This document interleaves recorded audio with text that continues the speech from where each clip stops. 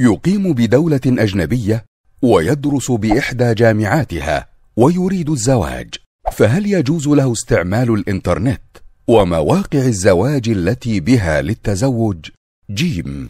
أولا ينبغي أن تستعين بأهلك وأصدقائك وبالقائمين على المراكز الإسلامية في البحث عن المرأة الصالحة في بلدك أو في محل إقامتك. وهذا متيسر والحمد لله وهو آمن وأنفع من متابعة ذلك عن طريق الإنترنت.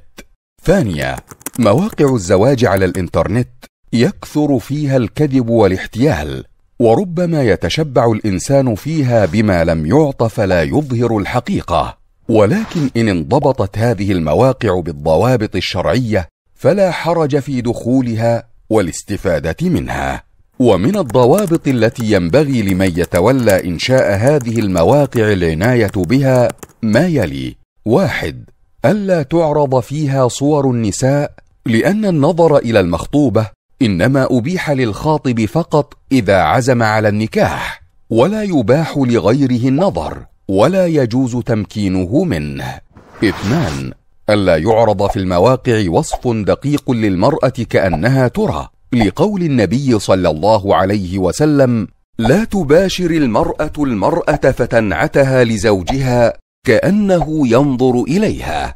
ثلاثة ألا يتاح المجال للمراسلة بين الجنسين لما يترتب على ذلك من المفاسد ومنها دخول العابثين والعابثات بقصد الإفساد أو التسلية.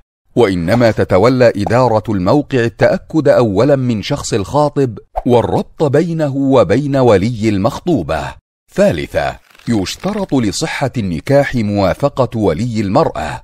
لقول النبي صلى الله عليه وسلم لا نكاح إلا بولي. وقوله صلى الله عليه وسلم لا نكاح إلا بولي وشاهدي عدل. وقوله صلى الله عليه وسلم أيما امرأة نكحت بغير إذن وليها فنكاحها باطل فنكاحها باطل فنكاحها باطل. فإن دخل بها فلها المهر بما استحل من فرجها فإن اشتجروا فالسلطان ولي من لا ولي له. ويجب التنبيه إلى أنه إذا تعرف الشاب على الفتاة عن طريق الإنترنت ورضيت به فإن ذلك لا يعد نكاحا. إلا إذا تم عقد الزواج وفق ضوابطه الشرعية والله أعلم.